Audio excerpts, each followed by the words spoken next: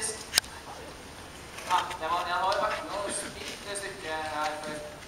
Lyse toner, mørketone. Det er masse Fordi da jeg, eh, da jeg var ung,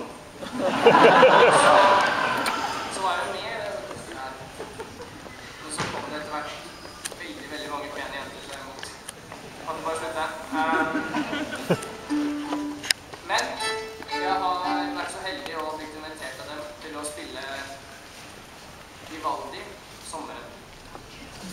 Oi.